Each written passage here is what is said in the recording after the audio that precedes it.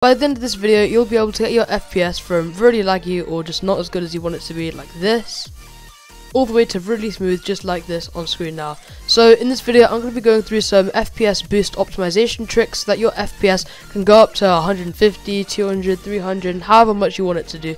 Anyways, let's get into it. So, for the first trick I'm going to show you, this isn't actually how to boost your FPS. This is just for if you have a monitor that's more than 60 Hz that refreshes at more than 60 FPS, so that you can play Roblox at more than 60 FPS. It's called an FPS unlocker, and I'll show you how to get it right now. If you don't want an FPS unlocker, then just skip to the timestamp on screen to see the first trick about how to get better FPS on Roblox.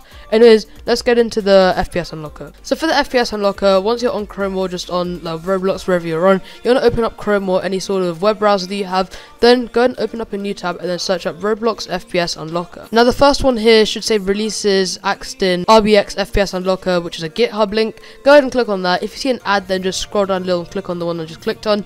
Then uh, you'll see this website screen that I'm on right here. If you do not, then go ahead and check the link in the description and then you'll be on the same page as I am right now. So if you're watching this video a little bit later in the future, then you may see it says like version 4.5, version 567. It may be a higher version because this is constantly constantly being updated. But yeah, pretty much what you want to do is whatever version it's on here, uh, you want to go to download here 64-bit, which is below. Go ahead and click on that. Then you might get a pop-up asking you which folder you want to save it to. But if you don't, then you'll just get this on the bottom left right here, which will just be uh, which will show you that the uh, file is downloaded. If it's downloading, then just go ahead and wait for that. You can pause the video and then come back when it's done downloading. So what you're going to do is go ahead and make uh, Chrome uh, or whatever web browser you're using in windowed mode. Once it's in windowed mode, you should be able to see your desktop behind here. If you can't, then go ahead and minimize uh, all of the apps that are already there.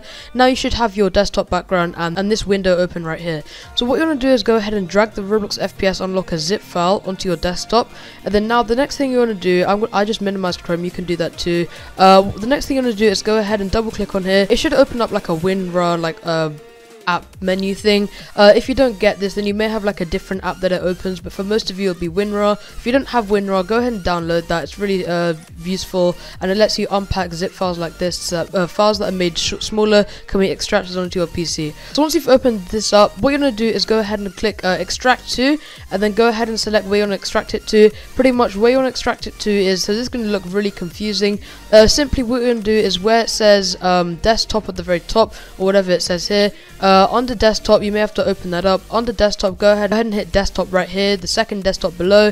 Then go ahead and hit OK. Now, just wait now just wait a second and then it'll extract to your desktop. As you can see for me right here, it's come right here. So I'm just going to drag this right next to the FPS Unlocker zip file. And you'll see two uh, Roblox FPS Unlockers. So one of them will be the uh, zip file, which has three books, which is a WinRAR for me. And the other one's the extracted version. Now with this extracted version, what you're going to do is right click on it and then go ahead and hit create shortcut. Go ahead and drag that right next to the Roblox FPS Unlocker that you just uh, uh, extracted right now. So now you should have three applications or like sort of folders or files open uh, on here on your desktop. Now you should have like three three files uh, on your desktop right here the zip file, the uh, FPS unlock extracted, and the extracted version as a shortcut. So the next thing you're going to do is go ahead and hit uh, Windows key and R at the same time. Then go ahead and type in shell colon startup. Once you've done that, go ahead and hit OK. Then what you want to do is uh, don't full screen uh, File Explorer. What you want to do is go ahead and uh, put it to a point so you can see all of the three files right here. So once you've done this, what you can do is the Roblox FPS Unlocker shortcut version that we've created.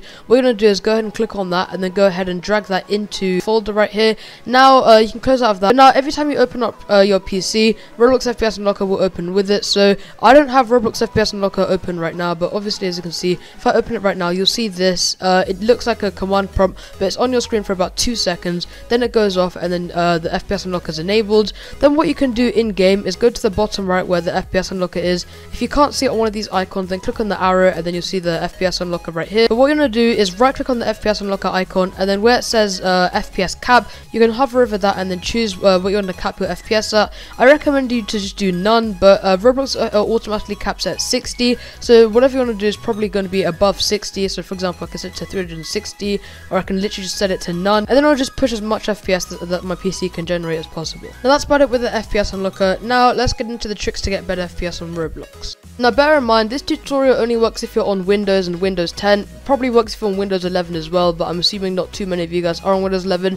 If you are though, everything uh, I do on here will be able to be uh, implemented on Windows 11. So yes, that unfortunately means that this doesn't work for mobile, but if you do want a mobile FPS unlock uh, boost trick for like mobile, iPad, tablets, and iOS and Android, go ahead and drop a comment down below, and then I'll, and then I'll make one for iOS and Android. But this is for PC and Windows 10 and 11, so let's just hop into it.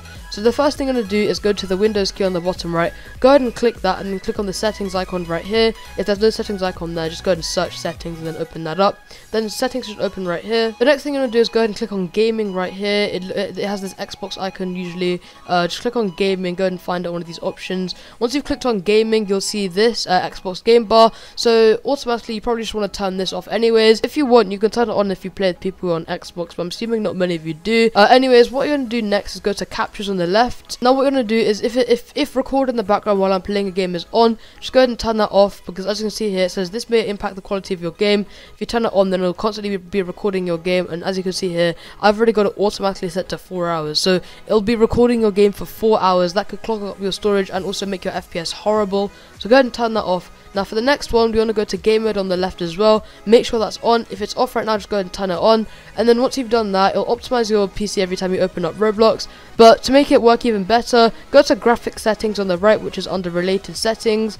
Uh, if you can't find it, then just search graphic settings. And then pretty much what you want to do is go ahead and click on browse right here. Then you want to go to your primary drive. Then you want to go ahead and find Roblox. Uh, pretty much, uh, for me, I go to my primary drive, program files x86. Then I scroll down all the way over to Roblox, and then go ahead and hit versions.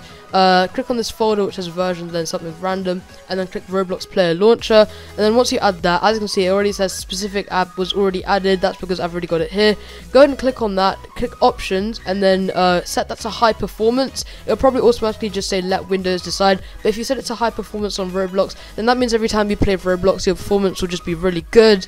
Uh, anyways, now on to the next trick. Now the next thing I'm going to do is go ahead and press on File Explorer on the bottom. If, if File Explorer isn't pinned to your taskbar, then go ahead and just click Type to Search, then search File Explorer. Go ahead and open that, and then once you've done that, you should see this PC on the left right here. It should automatically be open, and you should be able to see like desktop documents and all that stuff. Go ahead and right click on this PC and then click on Properties. Once you've done that, uh, settings should open again, and then you'll see this Properties thing. It'll say about your PC's being monitored and protected. If it doesn't, then that's a bit dangerous, but that's not what this is about. Uh, if the, if it doesn't say that, then you probably want to go to see details on Windows security and get that solved. But pretty much what you're gonna do is, but pretty much what you're gonna do is once this is open, uh, if you have this in full screen, then on the right you'll see advanced system settings. I think if you don't have it in full screen, you have to scroll to the bottom. But if you have settings in full screen, then on the right you'll see related settings and then advanced system settings. Go ahead and click on advanced system settings. Now once you've done this, this thing called system properties should appear. Uh, what you're gonna do then is go ahead and click on settings right here on performance. If it isn't already on advanced, then click on advanced and then click on settings under performance. Now once you've done this, you'll see uh, a bunch of visual effects uh, performance options. So we're going to just adjust this so that you get uh, better performance. So if you click adjust for best performance here, it will just uh, automatically remove all the ticks on everything here. But you may not want it to do that because uh, once you press apply, you'll see that like sudden effects on your computer take place. Like for example, when I move uh, this window around, you can see the outline moving around, but the app doesn't actually move in the outline with it as usual. So if you don't want that, you can go ahead and customize these settings. But if you really need good FPS on Roblox, then what I recommend you to enable is smooth edges uh, on screen fonts and show thumbnails instead of icons. Go ahead and enable that so that everything doesn't look really messed up on your computer. Some things may look not as good as you want it to, like for example, if you're like dragging this up and down, you'll see that it only has outlines. It does that a lot with like dragging things around. Uh, if you uh, want to go back, you can just go back, open up uh, this setting, and then just click adjust for best appearance. Then it'll retick everything. But yeah, you want to go to adjust for best performance, click smooth edges of, of screen fonts, and click um, and click show thumbnails instead of icons. Now just hit apply on the bottom right, then click OK, click OK again, and then you should be back on settings. You can close out of that now, uh, close out of File Explorer, and then now we can go on to the next trick. So the next thing you want to do is go ahead and hit your Windows key, or just go to the bottom left where it says type here to search. Go ahead and click on that and then go ahead and search edit power plan. Now uh, you'll see uh, under it it says control panel and it should be like this green battery thing with like a little plug going around it. Go ahead and click on that. Now once you've done this, you want to go to the top over here, click on power options again, and then once you're on power options, you'll see all of these uh, power options you can enable. What you'll probably automatically have is balanced, which is recommended, and then the other option here is ultimate performance, which I've already selected here. But uh, if you don't have ultimate performance as an option, then go ahead and press this drop down menu where it says hide additional plans, and go ahead and select ultimate performance. Once you've done that, you'll get a lot better performance on video games. Uh, as you can see here though, it does say provides ultimate performance on higher end PCs, so if it does make you lag a little bit more, then go ahead and deselect that and return back to balanced. But for me, uh, ultimate performance is pretty good for me. Anyways, once you've done that, you can close out of that. Now, the next thing I recommend you to do is go ahead and go back to Chrome, and then go ahead uh, on Chrome or whatever search engine you use, go ahead and search up Razer Cortex, then click on the first Razer Cortex link. Now, once you've done this, you should be on the official Razer Cortex website. If you're not, then I'll drop a link in the description. You can go ahead and check that one out. But pretty much, uh, as you can see, it just says download now, and uh, the description for it here is unlock your PC's full potential, enhance your play by boosting your system performance, and discover the best uh, gaming deals all on one powerful platform. That basically summarizes what the app does, but if you don't completely understand that, pretty much uh, this is just really useful for any uh, gamer who plays any video games because it helps your PC just run games really, really well. So yeah, uh, just go ahead and hit download now and then go through the download process through that. Once you've done that, go ahead and open up Razer Cortex. I've already got it installed, so I'm not going to go through the uh, installing process, but it'll be very self-explanatory. You can go ahead and install that. You can pause the video right now whilst you install it and then come back once you've done installing it. So once Razer Cortex is open, you should automatically be put on this page called My Library. You may have to sign up an account. I've just clicked Continue as Guest. But as you can see, uh, on My Library, it'll have all the games that you have. Obviously, it may just have Roblox or Roblox UWP. The difference is one is the Roblox Windows app. One of them is the actual Roblox like app that you play through the website. I have a few games here, as you can see. But yeah, uh, that's not what we want to be doing. Obviously, if you click on some of these games, you'll be able to uh, change some of the settings within. So what you want to do is go over to Boost right here. And then what you want to do is, uh, and as you can see, it'll have some information here about boosting stuff. But yeah, go ahead and click boost now if you're about to start playing a game. So what you want to do is go to system boost on the top right here and then go ahead and click scan right here. When you click this button that says scan, it'll start scanning your PC for cache, cake, whatever you want to call it. Uh, but it'll start scanning your PC for like bad files or junk and uh, this will help speed up your PC and optimize your PC to speed it up. Just let it scan your PC first. Once it's done to 100%, go ahead and unpause this video and then continue. Okay, so guys, once the scan is done, you'll see this optimize button right here, and on the bottom you'll be able to see uh, system clean, speed up your PC, and defrag games. So on system clean, it'll say how much uh, uh, storage you have to be cleaned. As you can see, I have a whole 24 gigabytes of storage that I'm about to clean from my PC by just clicking the optimize button. Also, speed up for optimizing certain games uh, no items need to be optimized here, but for you, may have some to be optimized because you've probably never used this before. I have used it before, so, um, so uh, most like items they speak of uh, have already been optimized. That's what says congratulations, no items need to be optimized. And then 0 out of 15 games I have need to be defragged. But if it does say any games do need to be defragged, go and select that as well. And uh, I recommend all of them just being selected anyways, but I don't actually need any of them to be selected. I don't need these two to be selected because obviously uh, I don't need any to be optimized and I don't uh, have any games to be defragged. If you do have things to be optimized or do have uh, games to defrag, then obviously select that. Then once you've done that, hit this big optimize button in the middle, and then it'll start optimizing your PC. As you can see on the bottom left, it's rapidly cleaning my PC. It's already 4% done. So as you can see, it's already done 400 megabytes. So I'm just going to let that uh, clean up for a little bit. Obviously, as you can see, this has just been optimized, and on the bottom left, you can see that it says for me that 21.6 gigabytes of disk space has been freed. You, it may also say that uh, your PC has been sped up. Once you've done that, you can minimize that Razer Cortex and then go to any Roblox game that you like. I'm just on literal base play, but it doesn't have to be this. It's going to make it easier for me to load it and everything. So as you can see, uh, every time you go and hit play on Roblox, obviously everything will work as normal.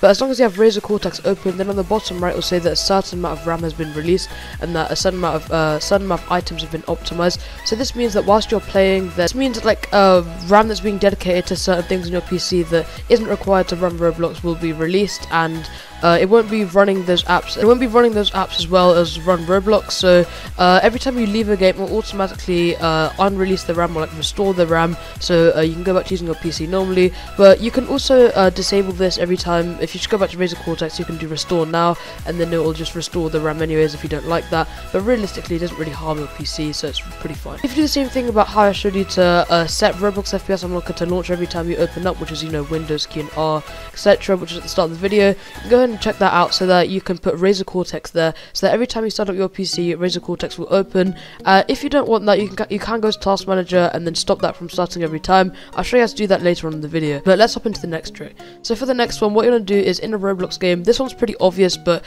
if you haven't done this before, then uh, I highly recommend you to do this. So what you're gonna do is press Escape or press this uh, uh, Roblox icon on the top left of your screen. Then go to Settings, and then uh, on Graphics mode, you can switch that. If it's on automatic, you can switch that to manual.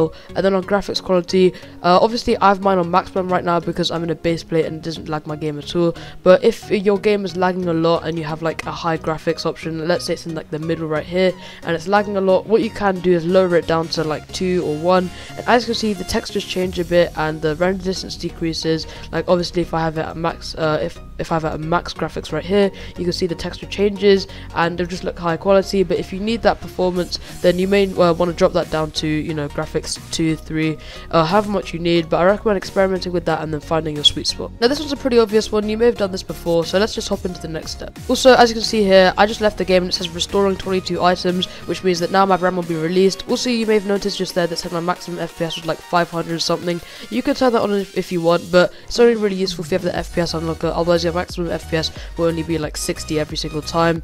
If you're on the FPS unlocker, again, head to the start of the video, because I explain how you download it. The next FPS boost trick, what you're going to do is go ahead and uh, press your Windows key or go to the bottom left and click on type here to search, then search Task Manager. Now if your Task Manager looks a bit like this, it's really simple. What you're going to do is go ahead and hit more details right here, click on that and then you'll get expanded. You'll see a bunch of things you may not understand, but don't worry about that. I'll just show you what you need to know. So pretty much what you're going to do is go over to Startup right here, and then on Startup, you'll see all these apps here that start up every time you start your PC. Some of these may be disabled, so if they are disabled, that means they do not start up every time you start your PC, but the ones that are enabled do start up every time you turn on your PC.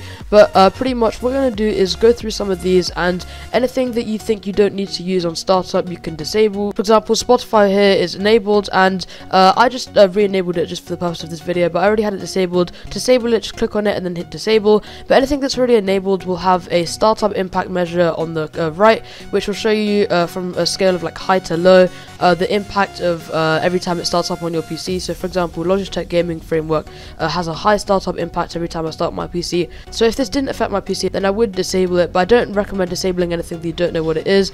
Otherwise, you may disable something really important to run your PC and it may be bad for your PC overall. But yeah, I recommend going through that and then disabling anything with a high startup impact that you know you don't need to use every time your PC starts up. But obviously, if you don't know what it is, then don't disable it. Now the final thing is pretty obvious, but I'm just going to show you anyway. So on Task Manager, as long as you have uh, this expanded, then you'll have uh, all your apps here that are running on your PC. Anything with a high CPU, memory, or GPU usage, or also power usage. Uh, for example, I have OBS Studio, which is recording this video right now. It's at moderate, but I'm not going to close this, otherwise the video will just stop recording. But pretty much, like if you have anything that's like really high that you're not using, then just click on that and then hit End Task on the bottom right. I recommend you don't go into background processes because most things here are things you probably won't understand. But other than that, that's all the FPS boosts I've got for you in this video, guys. If you want a part 2, go and hit the like button, subscribe, go and drop a comment down below if this helps. If it didn't help or if you need some help with anything, go and just drop a comment in the comment section down below and I'll come through and help you guys out. But other than that, hope you enjoyed and check out one of these videos on screen now.